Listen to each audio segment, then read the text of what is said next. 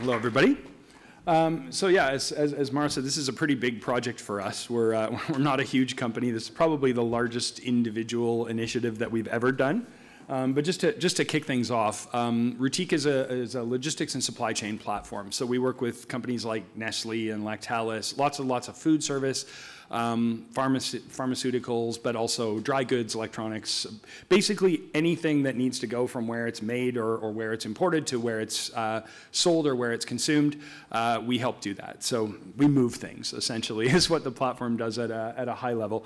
Um, our, our, tagline is uh, X-ray vision for supply chain visionaries, and you'll see it's kind of marketing buzz, but you'll see how this actually fits into the project and what we're doing here um, fairly shortly. So um, the, the, the important part, again, marketing uh, speak to start with, but um, seeing through walls, breaking down barriers, peering into the future. It's all, it, it, it sounds, you know, fluffy and, and uh, sort of esoteric, but, but there's a, a, method to the madness, and really what it is is, can we give um, our customers the, the visibility and the transparency that they need through their network?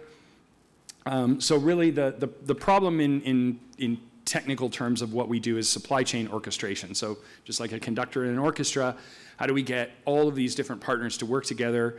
Uh, lots of people think, you know, uh, uh, you know, say Nestle, for example, ships all their product and warehouses it and transports it. Almost none of that happens. It's, it's quite rare for any entity, no matter how big they are. They're, they're, for example, the world's largest food service company. I think they're a $145 billion company or something like that. Um, very little of that work once the product leaves the plant is, is actually done by them. So it's done by a disparate group of partners, some huge other juggernaut entities, international ones, other regionals, other nationals, all the way down to you know, Ned's Trucking in Thunder Bay, Ontario. And so our job is to get all of these companies to work together as a single unit in one network. The complexity comes from the fact that a lot of those same companies work in 5, 10, 12 other networks. So you behave as as Nestle part of their entity when you're working with them, you then behave as part of Lactalis when you're working for them. So there's all these different rules and, and, and workflows and things that have to take place across the network. Um, that's the buzzword way of saying it. My favorite quote ever came from Nestle the very first day that we met them in their boardroom. They said, we don't want to own the trucks, we just want to act like we do. So that's the, the layperson's version of what we do. How do we make it seem and appear and function as if it's a single entity, a single network, when it's actually a whole um, uh, group of, of, of, of, ragtag partners.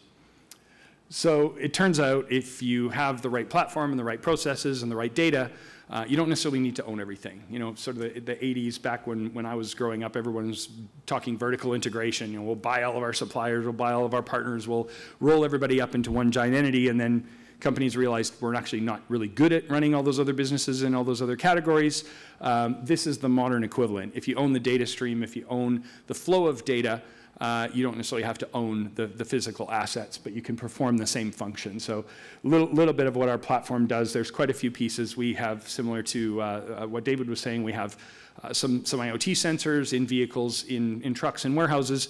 We also have uh, a lot of handheld devices that support our platform, anything from you know, your regular iPhone or Android phone or tablet, uh, all the way up to Honeywell and Zebra devices and those kind of things. So we're gathering data, uh, unfortunately not the same use case as the last one, lots of machine-driven data, but also tons of people-driven data, which uh, adds to uh, the complexity in terms of uh, how, how consistent and accurate that data is, which gives you lots of challenges when you start to do a project like this.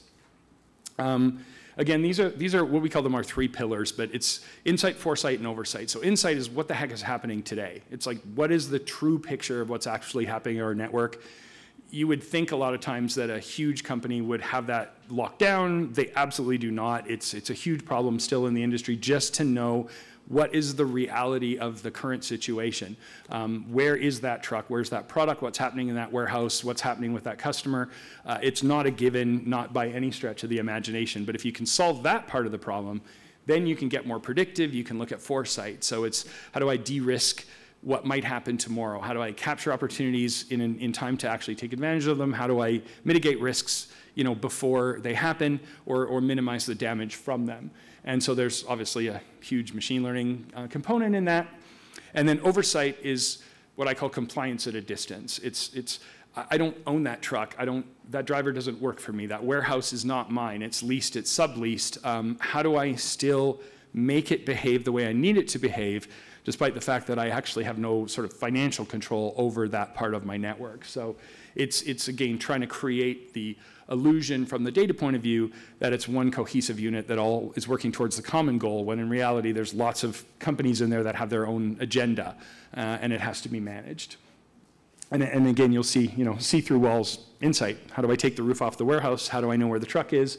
Um, peer into the future, foresight, and breaking down barriers is the oversight side. So how do I how do I get them to perform? So there there is a method to the to the marketing madness. Um, just sort of bringing this one up uh, mainly for for context. Um, so we, we did about a million orders through the system last year, about half a billion dollars of gross merchandise value. Um, we'll probably do over a billion this year. Um, and what that means is tons of data. every, order might have, you know, 20, 30 line items in it. Each one of those has a product, a SKU, a lot code, expiry dates, all those things. Uh, not to mention that to pick an order with, you know, 32 SKUs in it and 700 items uh, is every one of those actions is captured by our system. So there's, you know, it's like an iceberg, right? The data at the top of this order was processed actually might have hundreds of lines of, of uh, captured data underneath it. And then when you add the IoT side to do things like deliveries, it's you see some time series data similar to what David was showing is, you know, what was the temperature at every moment during the journey? What was happening at that time? Um, you'll see incidents in the field like driving to a Walmart to deliver product uh, that you pull up to the dock door they open your, your doors, they pull you up to the dock, and they leave you sitting for 15 minutes. Then they scan your truck with a temp gun and go, You're over temp, we can't accept this ice cream or whatever it is. Uh, in reality, with those layers of data similar to what David was showing, you can go, yes, but geofencing shows I was at your dock. The door contacts show that the door was open. I was idle. Um, the, the vehicle brain, we call it, which is the sensor that goes in the cab of the vehicle, says that I was parked and I was at your location. And generally speaking, that's the, the, the arbiter of the sort of he said, she said thing. It's basically going, okay, well, we get it. Th this is fine. We were never over temp until you arrived at our location. So layer, layers of data and, and context is what tells the story for us. And one single source of data is easily disputable and actually can be wrong, but when you layer them all together, it creates a picture similar to you know, a detective solving a, a crime problem, um, putting it all together and going, I can forensically tell what happened here uh, just by looking at the data alone. Um, so to jump into a little bit of the project, um, we've been employing machine learning, and I, I has, in this room I hesitate to sort of talk about what we've done ourselves in the same context as of what Amii has helped us do. But you know, tools like like uh, linear regression, like uh, k-means and nearest neighbor clustering, and things like that. We've been using these tools since since we opened. Um, and I'll, uh, if there's time permitting at the end, I'll show you a couple screenshots. But like our route planning and, and uh, route optimization system was actually built in-house by us prior to to meeting the folks at Amii, uh, and it works really really well, and it scales, um, there's systems out there like Orion with UPS and all these kind of things that are probably heads and tails better than what we built, but they cost tens of millions of dollars and they're difficult and expensive to deploy, and they don't share that necessarily with everyone. So um, ours is purpose built for what it does. It'll do things like, for example, um, optimize 5,000 deliveries in the greater Toronto area in a morning, not knowing how many trucks it has and not knowing how many deliveries it has until 10 minutes before. So it's built for speed and it's heuristically accurate enough for what we do, but it's fast. And so that, that, that's oftentimes what we're looking for is um, not necessarily the most robust solution that gives you the 100% accuracy, but how can we do this at scale? Because if we said, give us 24 hours and we'll return results, they'd be like, we don't have that time. So a lot of times the right answer is the one that you can deliver on time. Um, but so to jump into this project, we, we, uh, COVID really threw supply chain for a loop. I'm sure everybody here heard about all the shortages with toilet paper probably being the big one for whatever reason. Um, just everything that was just in time that had no slack in the system just completely collapsed under COVID. And all of our clients started going, okay, well, you guys are really good at getting product upstream to a warehouse and downstream to, say, a retailer or to home, a home, and especially with COVID, with home delivery. What the heck's happening in the warehouse? Um, you know, we, it, it, it, we fabulous visibility of every truck in the field everywhere coming in, going out. And then it goes into a big box and we have no idea what's happening to it after that. So issues with inventory, issues with product being lost or damaged, um, in, inventory miscounts. So thinking that they had this much product to send to a Starbucks or a Walmart and then realizing that they didn't have it and then realizing that they don't know why they don't have it and they can't figure out what happened to it. Um, so we really kind of came up with the concept of how can we take what we've done in the field and bring it into the warehouse and, and really sort of get more um, robust control over what's happening there. And right about the time that we had met the folks at, at Amii and we were introduced to Scale AI, who's uh, one of the, you'll see in a second, one of the, the funder of the, the project, um, aside from ourselves. And, um, and, and all of a sudden we went, okay, we don't have to do this alone anymore. We don't have to, you know, learn these things ourselves and, and hope that we're doing it the best way. We have uh, some experts to rely on that will give us some guidance. And at the same time, we met one of our clients, Big Rock Brewing, um, who worked out to be the perfect customer to try this on, A, because they had an appetite to try new things, and not everyone does, uh, especially the bigger ones. Sometimes they move like tankers. They turn really slow, and, and they're hard to get to, to maneuver into new uh, new areas, and also because of COVID, we couldn't go anywhere.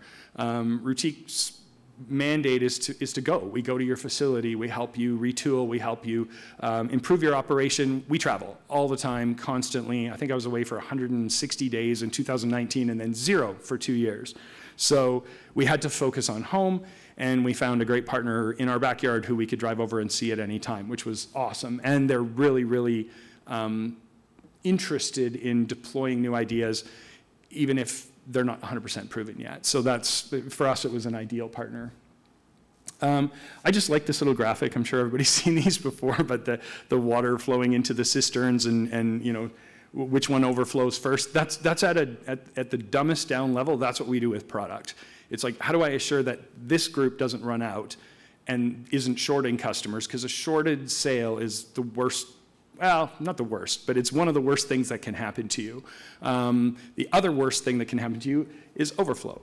Uh, we, especially with things like frozen and, and chilled products, if it, there's literally no place to put it, it's going to go bad. And, and we've seen customers have that with you know, $25,000 worth of seafood gone bad on the dock with no place to put it in a freezer um, because there's no orchestration from the top down. So it, it's, a, it's a simple version of it, but effectively, if you had tens of thousands of these, the, this is what we do, is try to balance the flow of goods through the network uh, and make sure that nobody has too much, no one has too little, and then you get the complexity of things like code dates, so expiry dates, right? I might have it, but it might not be sellable anymore. I might have it, but I don't have the sales to support selling it before it goes bad. So it's how do we orchestrate the movement of the product in the entire network to make sure that we're optimizing the flow of product out the bottom in this case.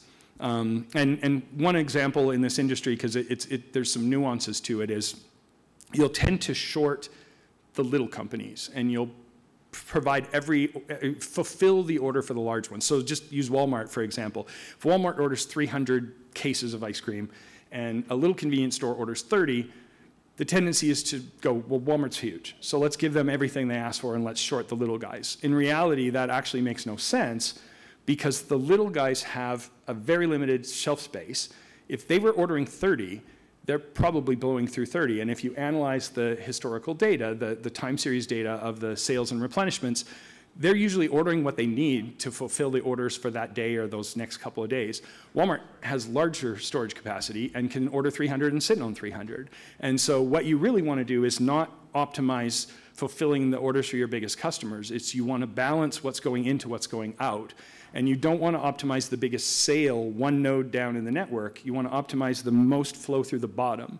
So the one place where everyone in our network, ourselves, the manufacturer, all the warehousing companies, transport companies, the retailers who sell the product, and even us who buy it, we all need it moving. No one makes any money if it sits sitting product is, is an expense, moving product, getting closer to where it's consumed is increasing in value. And you know, I'm sure everyone knows, right, when it's manufactured, there's a markup to wholesale, there's a markup to distribution level, there's a markup to retail, there's a markup to uh, the consumer.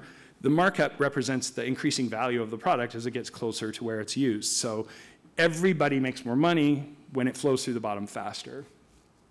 So uh, this project, uh, you know, we're, we're, we're the project lead. We're the platform that, that supports the, the data that is available uh, for the project. Most of the data actually is resident in our platform.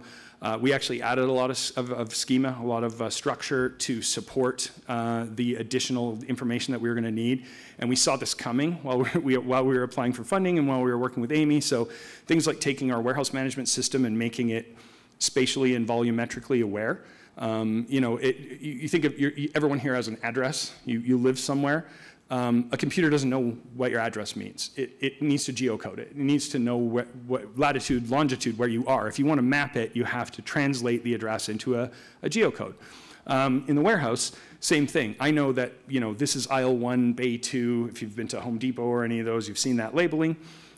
That doesn't mean anything to a machine. It's like, where is that? Where is that aisle? Where's that bay? What level is that? What height is that at? So we actually added that structure to our system as part of the lead up to this project because if we're going to do similar types of optimization in the warehouse as we do in the field, we have to have a way to translate addresses, which are the location of the, the storage location, to the, the, physical location in XYZ space. So, and, and a lot of this work we did, uh, you know, with Amii, because when we started discussing this, we, we uh, similar to what David was saying, we went, okay, well, here's the information we have, here's the outcome we want, what pieces are we missing, where do we get this stuff from? And some of it does come from third-party data, things like weather data and stuff we're ingesting, but most of it is, if we didn't already have it, we tried to add that structure. Um, so Big Rock, as I mentioned, is the adopter. Uh, Amii's really the brains behind this, so they're the ones that, you know, the sort of the, the rock stars that have helped us uh, level this thing up from what we would have done ourselves. I think we would have gotten part of the way to where we are now ourselves, maybe three years instead of six months, where we are today, halfway through the project. Uh, a lot more pain, a lot more blood, sweat, and tears, a lot more, you know, this didn't work and that didn't work. Um, they've really helped us accelerate that. And then scale, we couldn't have done this without scale because a lot of that, that funding has, has come from that side. So it's a nice kind of a, a four-way uh, partnership here that made all this possible. Uh, I don't want to dwell on too many of these, but um, really what we're looking for, eh, you know, in, in, I mean, we're using Big Rock as an example because they're the adopter, but part of our mandate was like, if this just works for one customer or one company or one sector, we're, we're in trouble. Um, we have to make it somewhat agnostic, so we have to be able to, you know, train models on different data sets and then keep those segregated. Um, beer might be different in Calgary than it is in Edmonton. It might be different in Toronto again. But then ice cream is very different from beer. Water is different again. Milk is different again. Electronics are totally different. Um, for example, some products in our network are incredibly seasonal. Um, you sell way more ice cream in four months uh, around summer than you do in the whole rest of the year. Uh, the electronic goods and the electrical components are, are fairly not non-seasonal, so there's much more of a, of a, sort of a static um, uh, uh, line in terms of the, of the uh, time series data. So we're using Big Rock's requirements as, as the starting point, but then we're going, okay, well, how does that, how does that manifest in all of these different areas? But basically, the needs of the customers at the highest, highest level are all essentially the same. It's like, how do we store the right amount of stuff store the most amount of stuff possible, access the most amount of stuff possible, have the right mix of the things that need to be sold, um, and then keep that all in balance uh, on a regular basis. And then from an optimization point of view, it's like, what's the most efficient way to manage these processes that happen? So um, that's essentially it. And we came up with three use cases, uh, all of which are being worked on right now, and all of which have these cool little kind of tangents and offshoots once you, once you get a piece of it going. Um, so the, the demand sensing uh, forecasting side is the starting point for all this. Um, we have clients that do a sales forecast once a year. And, and then they don't change it because it's very manual. It's incredibly difficult to, a, a ton of labor. And so you, if you forecasted in January 2020, your sales for the year, guaranteed you were way off because in March 2020, everything shut down. So um, we needed a, a much more uh, robust, much quicker process that could adapt. And we wanted to forecast um, you know, sort of top down and bottom up and compare the two and do it on a SKU by SKU basis regionally everywhere we go. So it's not a forecast for a single product. It's not a forecast for um, a group of products and it's not a forecast for a single location. It's forecasting the sales trends for individual SKUs in individual locations across the country at any given time. And that was the first use case, um, A, because it was pretty well defined. I think, you know, there's lots of solutions out there, and, and we've iterated through a ton of those with, with Amii, uh, you know, from ARIMA and, and SARIMA and SARIMAX, all the way through to the things that we're doing now that are more advanced. And I, I loved actually the approach that the Amii team took because they went, well, we're not going to start with the most the, the, the, coolest, most cutting edge tech. We're going to start with the most basic stuff and we're going to get a baseline. So, what's the point of going to reinforcement learning or deep learning if SARIMAX does the job? Um, so that we, we've iteratively gone from really well defined, easier to more complicated, and then we've looked at the uh, the, the, the, diminishing return, uh, the ROI on going the extra mile. And, and at some point, if we didn't keep getting better results with these things, we would have just said, okay, well, that one's good enough. But we're still improving as we go. We're still seeing results improving, and we're only halfway through. Um, so once, once you sort of inbound go, okay, well, I can see what's coming. I, I, can look at next week. I can look at the week after. I can look at next month. I, I feel pretty good within you know, a, a, reasonable confidence band that I know what my sales are going to look like, what my demand is going to look like. Um, then I can start actually uh, you know, optimizing my operation to, to manage that, that flux. And two things, the, the other two use cases, pick optimization. Uh, it's, it's very similar to vehicles in the field in a lot of ways, and then in other ways it's quite different. So again, addressable locations with, with XYZ codes, you have to know where it is. Um, you've got all kinds of complexity to add on to it, like if, if I can pick, you know, if, for some reason, if I was picking flowers and beer, um, I'm not going to put the flowers on the bottom of a pallet and put beer on top of it just because beer is farther away than flowers. I have to take into account weight. I have to in take into account stackability. Um, I have to take into account uh, bin sizes. So if I'm picking on a pallet, I, I, can only fill a pallet. If I'm pulling stuff off onto a pallet and then taking that pallet to the door, I have to make a trip to the door each time I fill a pallet. So it's, it's, it's similar to taking a truck and driving it around a route, um, but there's a ton of additional complexity. So when we thought of doing this, we went, well, we've already done route optimization in the field. How hard can it be? And the answer was pretty hard. it was way harder than we thought. And, and so when we got into it, and, and we have regular meetings every week uh, with the Amii team, uh, they, they were bringing up things that we hadn't thought of, and then we were bringing up things that they hadn't thought of, and they thought they had the perfect solution, and it didn't work, and we thought we had a solution, and that didn't work. And it was the collaboration that really kind of pulled that together. But the end result is I have to go around, I have 100 orders, 1,000 orders, whatever, to pick today what's the most efficient way to go pick those orders based on where that stuff sits now. And then the other nifty thing in a warehouse that you don't see in a field is um, in a warehouse, you have the, uh, the, the ability to change addresses. So you could move the products so that complementary products that get picked together are closer together. So that is called slotting in our, similar to, you know, if you had a bunch of mailboxes and you were dropping the mail in, you're finding slots to put the product. Um, pretty difficult to go, hey, Starbucks, would you move next door to Tim Hortons because it'd be way easier to deliver to you guys if you were next door. Um, that doesn't happen in, you know, outside the warehouse, but inside the warehouse, there's a really good use case for moving the product once and then periodically um, adjusting that slotting plan based on, you know, flux changes in, in sales, adding additional SKUs, those kind of things um, that you can't do in the field because it's I've yet to find a customer that's willing to move so that it's easier to deliver to them. Um, so that's those two are sort of go hand in hand. If it's already there, how do I get to it? What sequence do I go in to pick uh, the product? But also, what if I wanted to move it around? And, and what if I just wanted to rearrange this aisle or this particular supplier? Or what if I wanted to retool my whole entire warehouse? And so that use case uh, we, we, we had really high hopes for number one. We had fairly high hopes for number two, and then number three was a really stretch goal, and we're actually seeing pretty cool results for all three.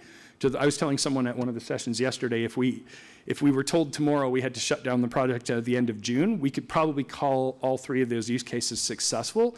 I think we're going to squeeze a ton more juice out of it in the next six months, but we've already seen results that are I think, better than both teams anticipated, which is, which is quite neat to see. Um, and then use case three is a blank warehouse, an empty space. How would I configure it? Um, you know, you have walls. There's limitations unless you're going to build onto the building. You have a ceiling height. You have access uh, limitations like HVAC and, and door sizes and there's an office here and we can't put pallets in it. And so given an empty layout, how would I optimize it? This was the one that I think even when I first pitched the Amii team, they were like, I don't, I don't know if that could be done. I'm not really sure. And we've actually found ways to do it. It's not going to do it by itself. I, I, don't think you're going to use this algorithm and then just build the warehouse exactly the way it told you. But man, is it ever a cool tool for the groups that are actually going, where do I put the racking? How much? How high? How wide do the aisles need to be? How much can I store? How, how much can I access?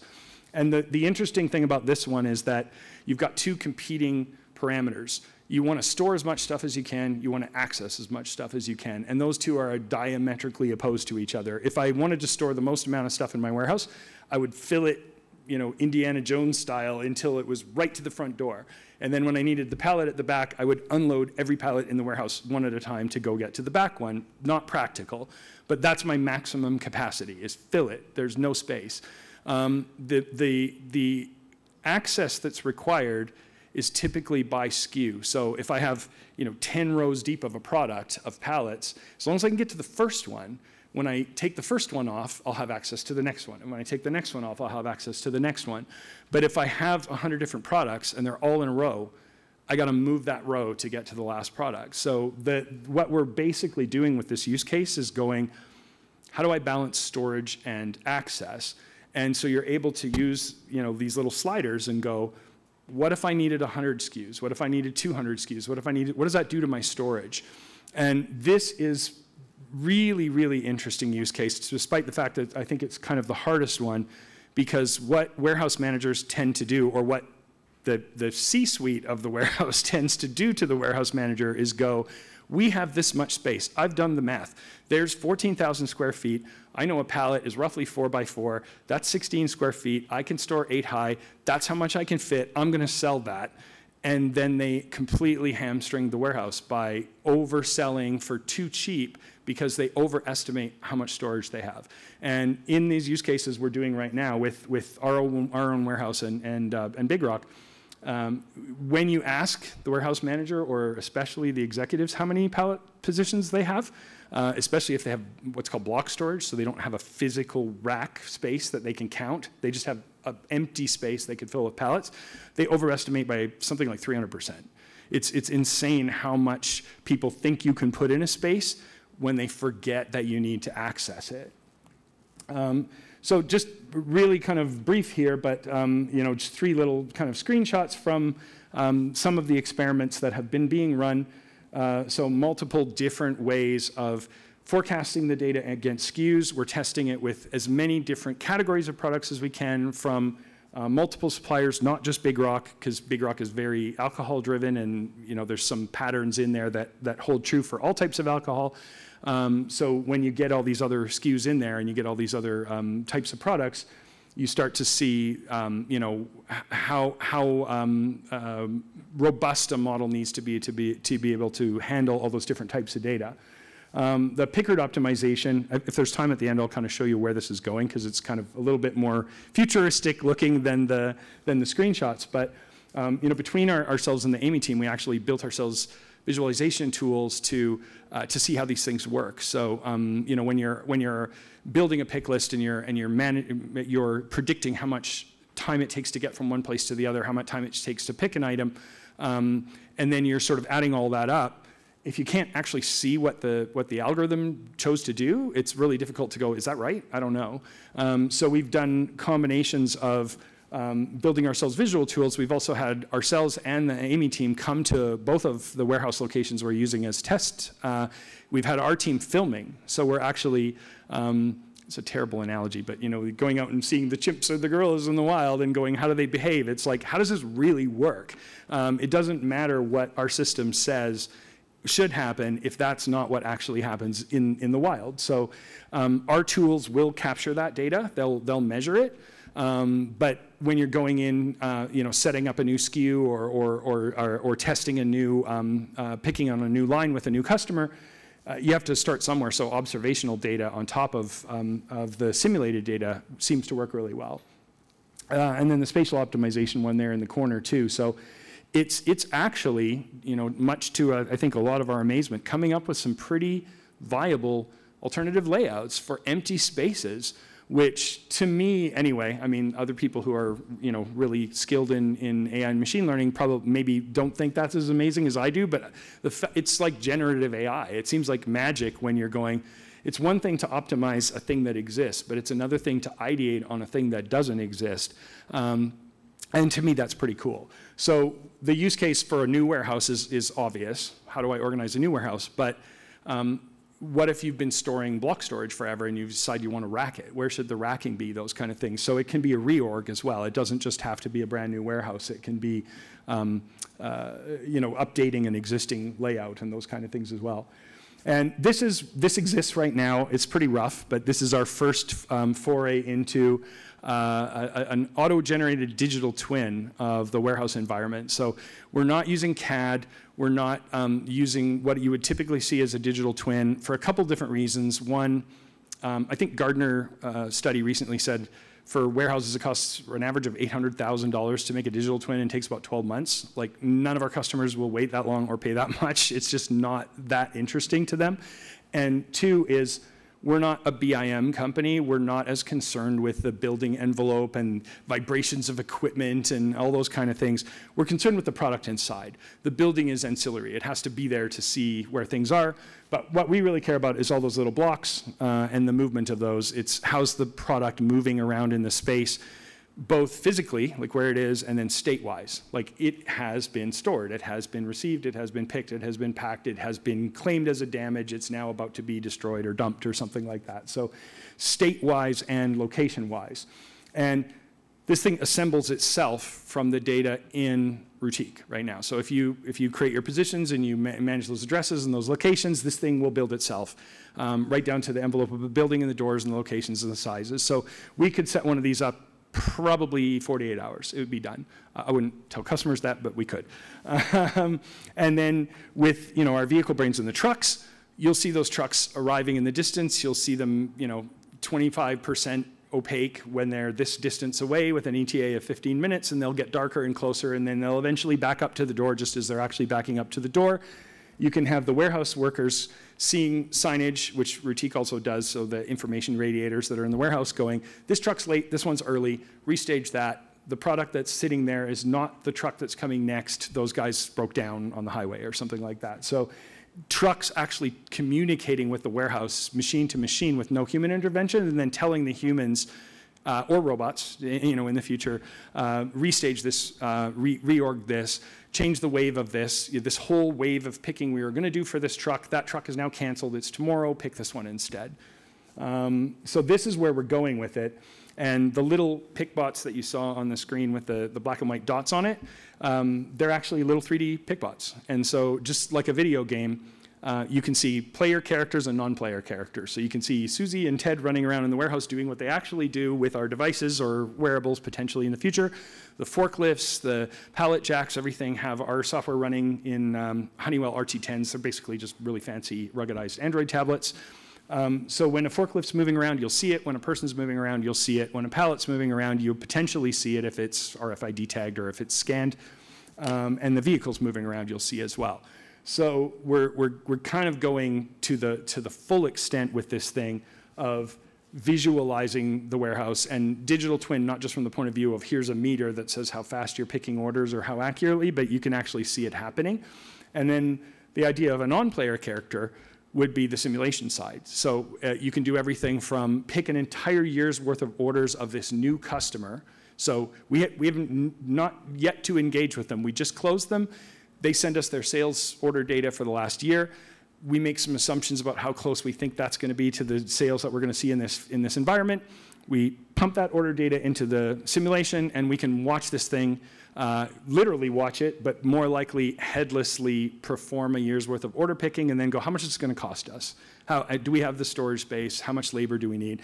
You can also do nifty things like go, what if I added three more non-player characters? What if I added three pickers to my shift? What, what difference does that make to me? And then do the analytics, analytics to go, well, it costs me $25 an hour for each person, but I save this much, I get this much done faster, I can do this much throughput. So that simulation side, I think, is, uh, is going to be pretty cool as well.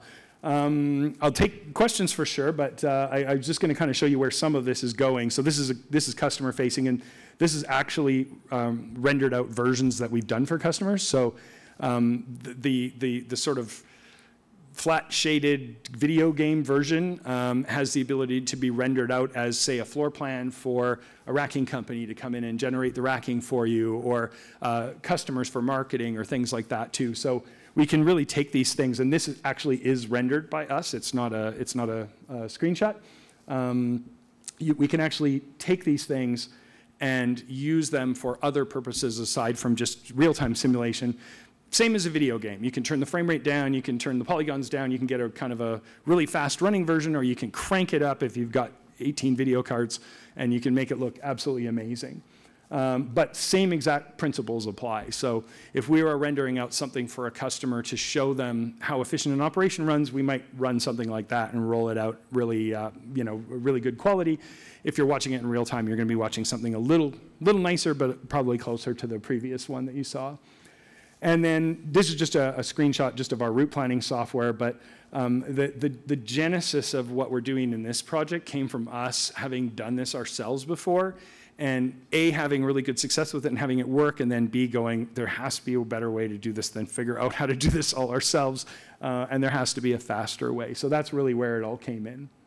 Um, that's pretty much it. If anybody has any questions.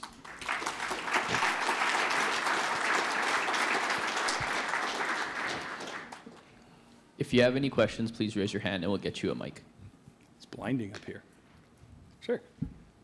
Oh, sorry.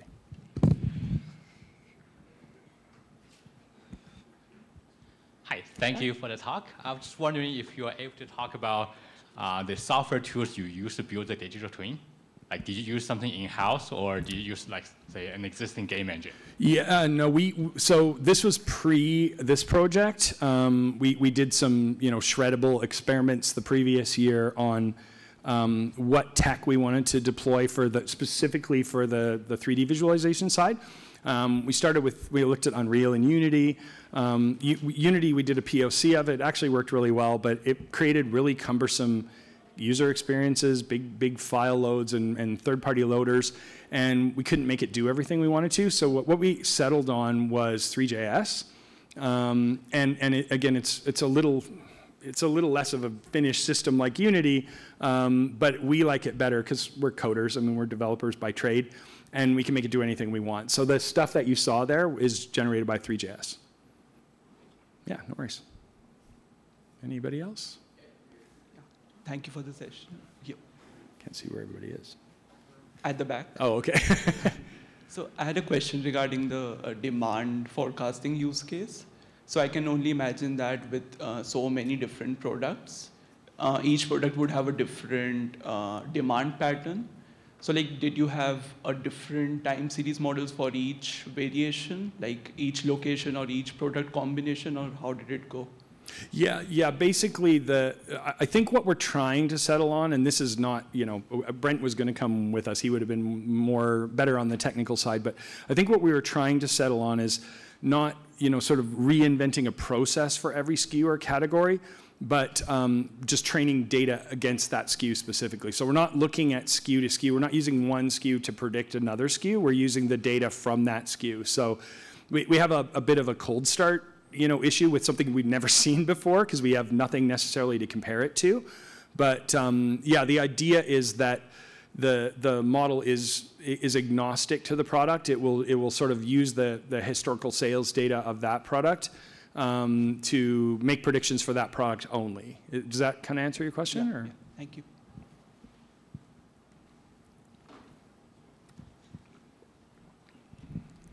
Hi, way at the back here. Hey. Way back here. Yeah. Ah, got it. Hi, I'm John from Group Capital. I have a lead for business development maybe for you. Oh, nice. And uh, uh, I was to see a large uh, department store slash retailer that has warehouses down in Calgary and they're here in Edmonton.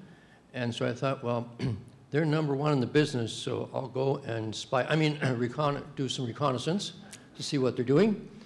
And uh, I waited late until almost past midnight when their skids showed up. And so you think that they're really organized, everything by SKUs, everything by everything. Okay, all that. One of the senior people took me by the hand. And he says, "Let me tell you what really happens, John." He says, "You see this pallet here? The light stuff's on the bottom, the heavy stuff's on top. It doesn't line up with our shelving. That's Walmart. You have no worries, but there's a lead for you for business." Yeah, for sure. I mean, the the industry. I- think it's like a restaurant, right? You don't necessarily want to go into the kitchen of your favorite restaurant and see what's actually happening back there, but it, it is an absolute mess of, you know, different processes, some that work, some that don't, um, and, and and just everybody's doing the best they can without the right data. And uh, but yeah, we've seen, you know, one of our clients, um, they let the transport company plan the route and they don't know what the route is. So they stage the product. So there might be, say, 26 pallets you can fit on a box truck. Um, they stage those 26 pallets at the dock door. They might have 10 of those going out, or however many doors they have. It's taking up a huge amount of their space. It's just in random order. And then the, tr- the, the truck driver comes. He knows what order he wants it in. He needs the one that's actually tucked against the door first because he needs to do, uh, you know, first in, last out, right? And so he has to rearrange every single one of those 26 pallets, and they do that every single day for every single load that goes out. And as opposed to just going, if we optimize the route, we would stage it in the reverse order that it gets loaded in so that we would know that the last thing on was the first thing off. And so it's it's lack of coordination I think that causes a lot of that, but it's not just them, it's everybody. It's it's it's people are the uh, you know, sort of the messy middle that messes all this stuff up. If it was all machines, it would be nice and clean, but um, it, it doesn't work that way. And our, our mandate is not to eliminate people. We talked about this in the session last night. Um, you know, when you go into, especially tech people, you know, you have a tendency to go, oh, you could, we could get rid of all the people. We could cut your, your staff by this much. We could cut your cost by this much. And they're like, you know, I get my budget by headcount, right? Like, if you cut my staff, I lose my budget next year. That's absolutely the last thing I want to do. I do want to redeploy them. I want to put them in the areas that make sense. So we, our mandate is, you know, we don't want to create Iron Man, we, or um, Terminator. We want to create Iron Man, right? We want to augment humans, not get rid of them. Um, and robotics is coming, and we're part of that, and we work with a lot of the companies that do that. Um, and so we have nothing against that. It, replace, you know, dangerous work that isn't injures people. Uh, have robots do that. Um, but, but don't talk about getting rid of people. Talk about sort of redeploying them to do people things. Thank you. Uh, The reason for my bringing up this suggestion was I'm in sales and marketing, responsible for bringing in business. How do we take your expertise uh, with, let's take Walmart or any other large retailer like that, how do we walk out with an order and some business for Amii and ourselves? Sweet. Nice. I like it. Thank you. Uh. Have you considered uh, uh, tools like uh, NVIDIA Omniverse for simulation and visualization? Yeah, we, we've looked at uh, a number of simulation tools. Again, that would probably be more the Amii team or, or, uh, or, or Brent in our shop. Um, what- one of the, I, I still don't know whether this is right or wrong, but we, we love uh, tools that we can get inside them and we know how they work. Um, so we, you know, there's, there's a, a bunch of um, uh, OR platforms and simulation software and things like that that we entertain. Same as Unity, right? Like we get to a certain level, it's really, really easy to get a rough POC out, and then you go, I need it to do this, and I can't make it do that. Um, and so for you know better or worse, we're, we're sort of trying to. Uh, David talked about the commercialization side. When we get to the commercialization side, we're going. Do, do, do we have control over this thing or are we limited by it? And so there's probably tons of great tools out there. And I know that the teams collectively have looked at a lot of them, but uh, we're, sort, we're, we're sort of favoring what we can do with the infrastructure that we have if possible. So I want to build on the previous question that you got before this. You answered that we don't want to get rid of the humans. We want to keep the humans involved. But the other thing is when the humans are involved, they don't like change. What would be your advice when you're working with business stakeholders and the people you work with to say, how do I make sure you like this idea and how, that it makes sense to them because they're so used to, well, I don't want to change my world. I like my world. Yeah. That would be something I'd be like to hear your answer on that one. Yeah, I mean, you, you people do not want to be sold, right? Like I sell, that's part of what I do. They do not want to be sold. They want to come to their own conclusion. I, I look, I, I listen in the conversation for when it became their idea all along, and you're like, okay, now they're now they're convinced. Um, but but the the issue with change is, um, you know, not listening, prescribing. Uh, again, tech people, we love tech, right? Like we, we I, David mentioned it too. Like we're early adopters. We're, uh, I'm the first into everything. I'll try anything once. Uh, I, I've signed up for so many free trials of software. It's unbelievable. Um, but most people aren't like that. So you, you have to put your, you know, customer client hat on. And um, they, they really care about how it affects them. They, they, especially in a bigger company, uh, most people sell what it's going to do for the company, and especially middle management, even senior management, they don't care. They, they really don't care. They work there. they didn't start it. They didn't found it. They could leave at any time, and they probably get offers. You have to sell them on what it's going to do for them. So we create buyer personas for every different category. What what does a driver want? Um, a driver's an interesting one because if, if you look at you know somebody in the C-suite, they might be motivated by like you know this is going to make me look good. I'm going to get promoted. I'm going to actually have a bigger budget, a bigger team. I'm going to get all the things that I wanted. Um, I'm going to raise sales. I'm going to do this that. Drivers number one motivation. I don't want to get in trouble. That, that is absolutely from all the studies that we've done, the number one. They don't actually care nearly as much about doing their job well as not getting in trouble. So if they think that the sensors are to watch them, to, they don't like it. When they, when they find out that the sensors prevent things like we've had drivers go, he spent two hours smoking outside my uh, establishment. And we're like, hmm, didn't happen. 11 minutes. And yeah, he was waiting for the dock person to come back so that they could offload his truck for him because he doesn't control your pallet jacks. Um, then they start to see the benefit to them. So I, I think you have to, it's, it's no different than any technology. You have to sell the benefits to people, and you have to remember that it, everything is people. Nestle is, it's huge company, and there's still one person that's going to make that final decision, and they're going to listen to lawyers and IT people, and um, there's there's peop- the people who push the sale forward internally in a company, and then there's the people whose entire job is to hold it back. And I don't know if there's lawyers and IT people in the audience, but uh, I'm not saying this in a disparaging way. Their job is not to do anything. Law- lawyers would be you're best served. Your lawyer will usually say, "Don't do it. Don't don't do the project. The lowest amount of risk is not to do it." Um, so if you forget when you're doing sort of a consortium sell that there's all these other stakeholders and the legal department does not care what the sales are they care about mitigating risk right the it department cares about security and scalability and robustness and am i going to get phone calls at 12 o'clock at night on a saturday because of this thing so I think it's all about the, the people. I mean, David said the same thing in his presentation, right? It is, it is all people. Um, and uh, we, we have some partners in, in like spaces like blockchain, for example, and they, they're so rah-rah blockchain, and I'm not against blockchain at all. I think it's great. But if you're selling blockchain, you're probably not going to make any sales. What, what does it do? what does it do for you? I think that's the number one thing that people forget.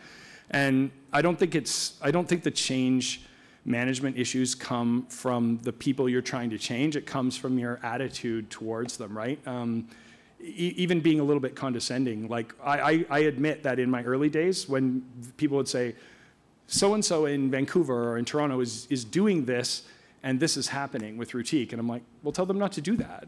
Um, that that's kind of the de facto response from the tech. Well, that's not how we meant it to be used, right? Whereas really, what you have to do is go, "Why are you doing it that way?" Well, you know what? There's a reason for that. There's a method to their madness. Hear them out. Sometimes you can convince them, and sometimes you actually need to listen and you need to adapt. Hopefully that answers your question.